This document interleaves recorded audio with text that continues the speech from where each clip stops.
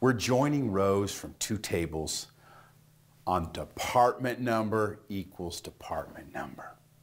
Take a look at the tables. I've got my employee table and my department table.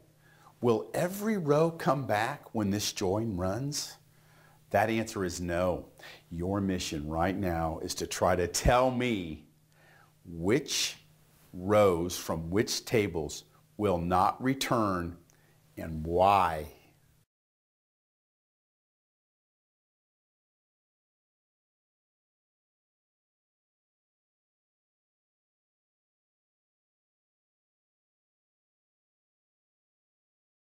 When you do a join with traditional syntax or you use ANSI syntax in the words inner join and on, either way, an inner join will only bring back matching rows where the department number equals the department number and those rows are joined together.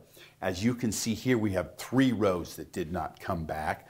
Squiggy Jones didn't come back he has a null value in his department, so there's not going to be a match ever in an inner join if department number is null for you. Second, Richard Smythe didn't come back. He's in Department 10, and there is no Department 10 in the department table. It's probably supposed to be 100, but there was an error, so Richard Smythe is not coming back, and daggone it, guess who else isn't coming back? Human resources.